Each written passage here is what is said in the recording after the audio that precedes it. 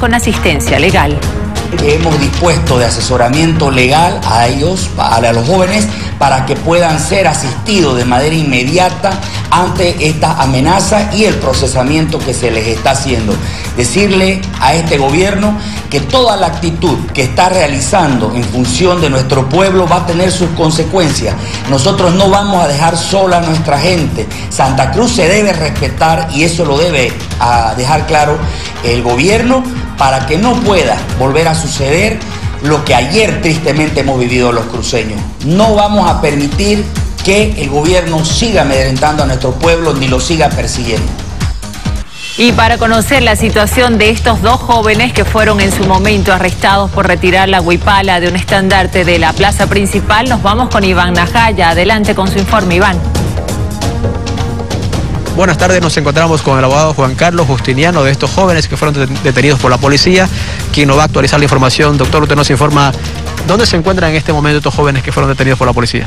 En su casa, ¿no? En su casa, ¿qué más le puedo decir? O sea, está uno con su esposa y sus hijos y trabajando obviamente en lo que él sabe hacer, que él es taxista, y el otro en su, en su trabajo diario, ¿no? ¿Cuándo fueron liberados ellos? El día de ayer a las diez y media de la mañana. el día de ayer los liberaron. ¿Qué se va a hacer ahora legalmente si es que hubo un procedimiento ilegal o irregularidades en su aprehensión o detención de ellos? Eh, bueno, cuando se, los aprende, pues había una, una orden ¿no? para, para que puedan entrar al domicilio.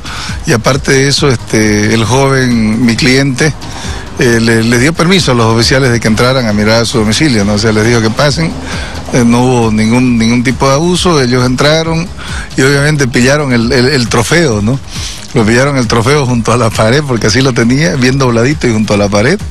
Y bueno, lo pillaron ahí el trofeo, que era la, la huipala, ¿no? Su trofeo de ellos, de lo que hicieron de bajarla del mástil ahí en la plaza. ¿Qué dicen sus defendidos en relación? ¿Por qué lo hicieron?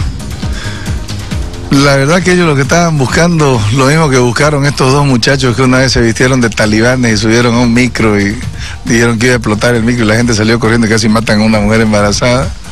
Y después lo, lo, viralizaron en las redes para tener más rating. No sé pues lo que buscarán los jóvenes hoy por hoy, ¿no? Ya en realidad eh, fue un, un acto de, muchachada, como yo lo he llamado en todos los medios de comunicación, que los llevó a, estar detenidos.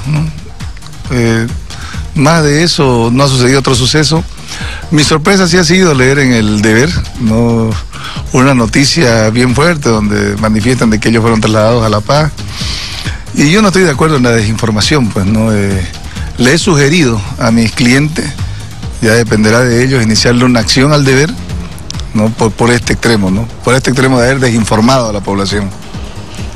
Más allá de eso, ¿alguna acción legal contra la aprehensión de estas personas se hará o ya con la liberación es todo? lo, que pasa es que uno, uno siempre pone en la balanza las situaciones, ¿no? Los han aprendido, es correcto, eh, pero más allá de eso, eh, hemos visto la, objetividad con que ha actuado el Ministerio Público y la policía. En este caso, yo felicito al director de la FLCC por, por, ese actuar eh, apegado a norma, como también a la doctora Justiniano por ese actuar apegado a norma. Y al, obviamente hay que felicitar pues, a los que están arriba de ellos, ¿no? porque se, se nota que no ha habido ninguna orden de de ninguna orden de lo que se está vociferando en las redes y, en, algunos medios de prensa, ¿no? A través de las entrevistas que se hacen. Muchísimas gracias, doctor. Completa la información en relación a estos dos jóvenes que en primera instancia fueron detenidos por la policía, pero ya fueron liberados.